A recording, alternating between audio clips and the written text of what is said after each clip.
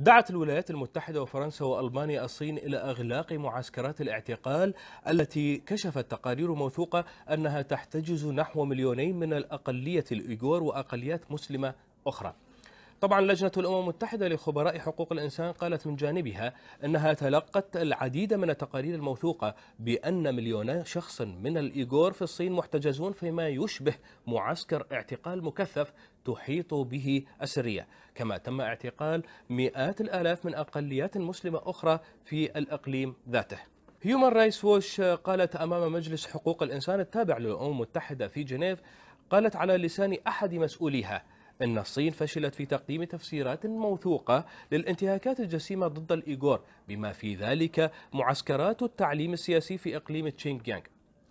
أما القائم بالأعمال الأمريكي مارك كازايري أعرب عن شعوره بالجزع من حملة الحكومة الصينية على الإيغور والكازاخستانيين وغيرهم من المسلمين.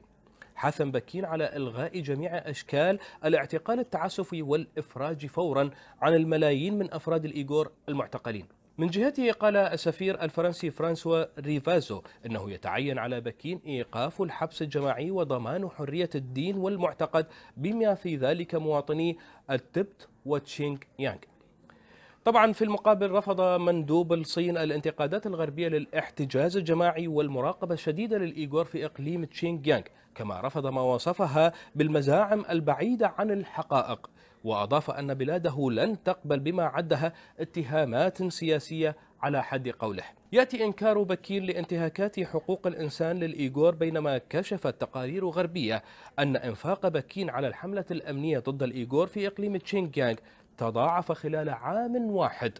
ليصل إلى مليارين وتسعمائة مليون دولار جرى إنفاقها على بناء السجون ومراكز التثقيف الإجباري.